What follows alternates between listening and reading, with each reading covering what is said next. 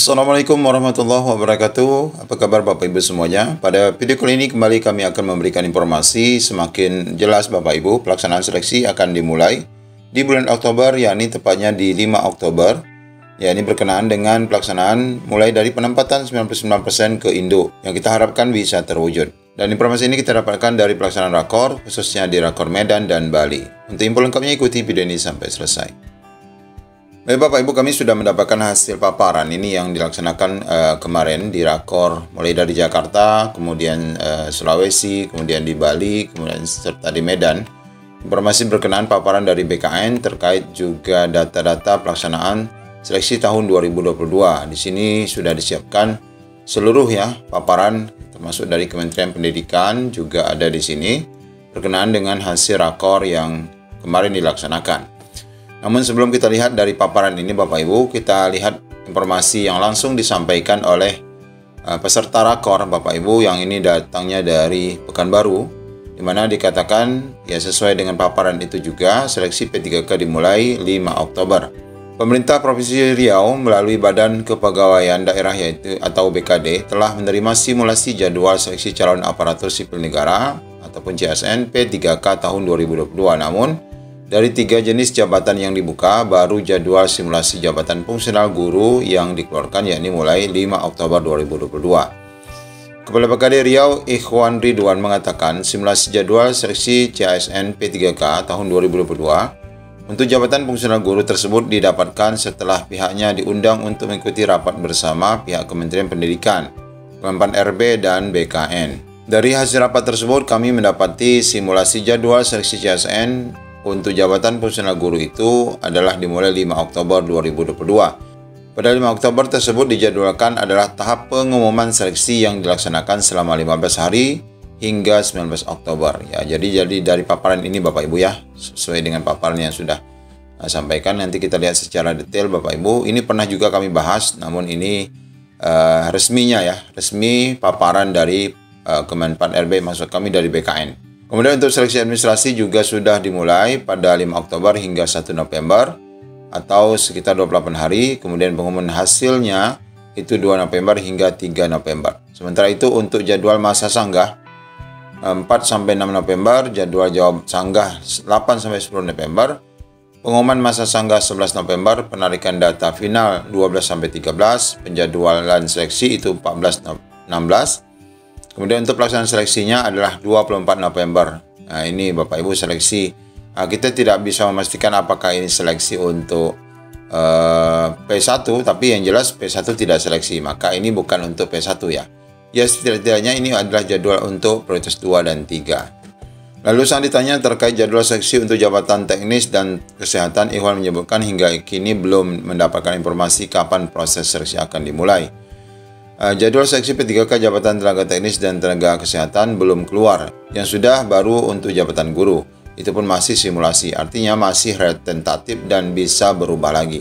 Diberitakan sebelumnya bahwa Pemprov Riau akan melakukan penerimaan P3K tahun ini sebanyak 7.688 untuk penerimaan tenaga guru dan yang akan diterima sebanyak 7.297. Kemudian tenaga teknis sebanyak 273 dan tenaga kesehatan 168 orang. Jumlah tersebut juga sudah ditetapkan oleh Menpan RB.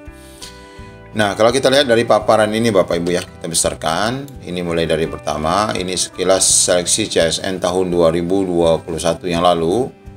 Uh, titik pelaksanaan baik itu di dalam negeri maupun di luar negeri Kemudian ini adalah sekilas hasil kelulusan seleksi P3K tahun 2021 yang lalu. Secara nasional tahap 1, tahap 2, sisa formasi, kemudian yang lulus passing grade sekarang ini yang belum dapat formasi 193.000, kemudian THK 2 sekian, yang swasta sekian, kemudian data penetapan CSN-nya, uh, kemudian ini adalah evaluasi seleksi, apa saja yang uh, menjadi evaluasi dari pelaksanaan seleksi tahun 2021, bahwa proses seleksi administrasi P3K Guru terdapat beberapa permasalahan seperti yang pertama adalah ijazah di bawah D4 atau S1. Artinya yang mendaftar itu ada juga yang tidak S1. Sehingga uh, proses TMT, TMS tidak memenuhi syarat itu dan pengolahan nilainya dilakukan berkali-kali.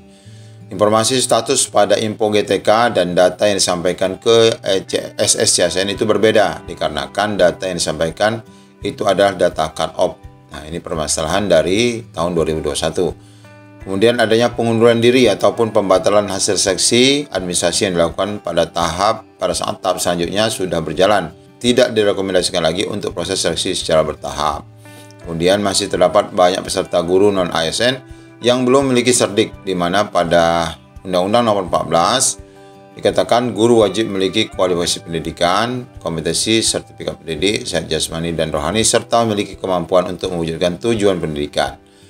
Kemudian kelemahan selanjutnya evaluasinya perlu ditingkatkan lagi respon helpdesk. Nah benar nih ya permasalahan P3K guru maupun diseminasi mengenai informasi P3K guru. Ya helpdesk ya perlu sekali. Evaluasi UNBK-nya standarisasi dari pelaksanaan harus berdasarkan pelaksanaan CAT BKN protokol kesehatan dan sebagainya. Kemudian sebelum proses pengolahan nilai dibutuhkan tahapan rekonsiliasi dari data yang sudah dikirim dengan membandingkan berita acara, jumlah kehadiran, dan keterangan lainnya pada lokasi ujian sebagai bentuk validasi nilai yang masuk sebelum diolah. Nah ini pelaksanaan rencananya seperti biasa ada prioritas ada THK 2 guru negeri umum yaitu lulusan PG dan, dan uh, rekan-rekan yang berada di Dapodik di bawah 2 tahun, 3 tahun, Nah, ini ada penjelasan-penjelasannya apa itu prioritas 1, prioritas 2 dan prioritas 3. Nah, ini adalah alur seleksinya, alur seleksi untuk rekan-rekan prioritas 1, 2 dan 3. Kemudian, nah ini adalah yang sebelumnya pernah kita sampaikan juga di video yang ini. Nah, ini kami memaparkan berkenaan dengan uh, simulasi jadwal seksi P3K ini. Nah, ini kita dapatkan hasil paparan yang resminya. Nah ini Bapak Ibu informasi yang dapat kami sampaikan. Mudah-mudahan saja memang dari walaupun itu simulasi dan mungkin bisa berubah, tapi sudah menunjukkan informasi yang jelas. Sebagaimana disampaikan Ibu Nunuk juga pada video kami sebelumnya, video yang ini ya, yang tadi malam. Nah ini sudah dipaparkan bahwa Bu Nunuk menyampaikan itu di awal Oktober, berarti persis seperti simulasi jadwal seleksi CSN tahun 2022. Semoga menjadi pencerahan bagi kita semua. Assalamualaikum warahmatullahi wabarakatuh.